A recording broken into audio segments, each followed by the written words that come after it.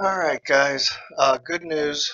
The uh, on Gunlearn.com, they had posted up that uh, Rare Breed filed their civil suit against the ATF and DOJ, and they're basically asking a federal judge to force the ATF to admit the FRT is not a machine gun under federal law and return all the property that they've seized.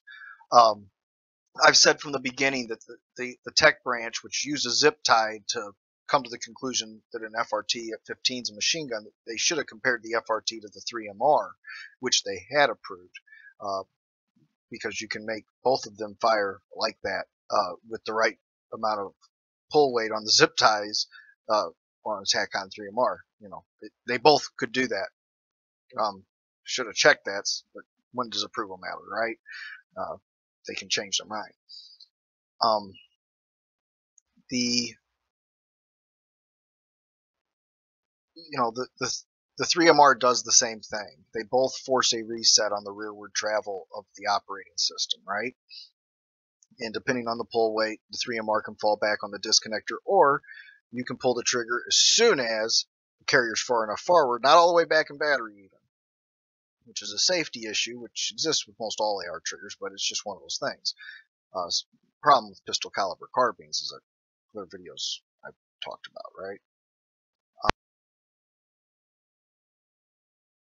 The uh, the FRT has a locking bar that keeps the trigger from being pulled until it's back into battery, which I've called the safety bar, and I have said before that it's the safest semi-auto AR trigger.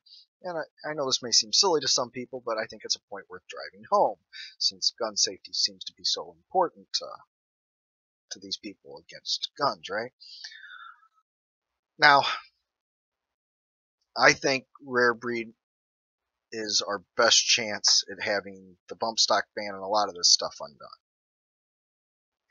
When Trump, well, here more importantly, after Vegas happened, Congress called the ATF in, and the ATF multiple times, and the ATF said every time, we have there's we have no power under federal law to regulate bump stocks. In fact, we've approved some of these designs, right?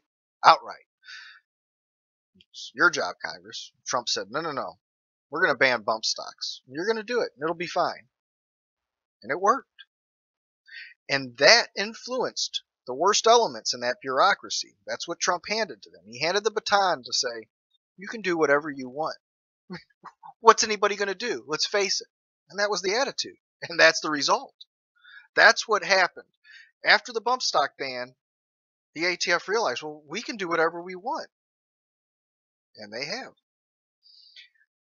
Solvent traps, completely legal. You can have as many solvent traps as you want, right?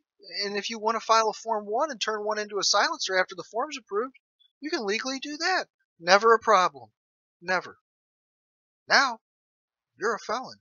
80% receivers, parts bought with 80% receivers, all these things, never a problem. Now they are. Arm braces, the only question ever existed and went back and forth over the years was whether or not putting an arm brace to your shoulder was a redesign or not. But now, how big is it? How little is it? Does it have iron sights? Does it have a red dot? Does it have a scope? Does it look funny? Well, now it's now it's an SBR. Why? Not, not because any law was passed, but because they say it so. So, I now if the bump stock ban was undone, I think it would undo a lot of this because it's going to show that like everyone's talked about that Chevron deference doesn't apply in criminal statutes or whatever.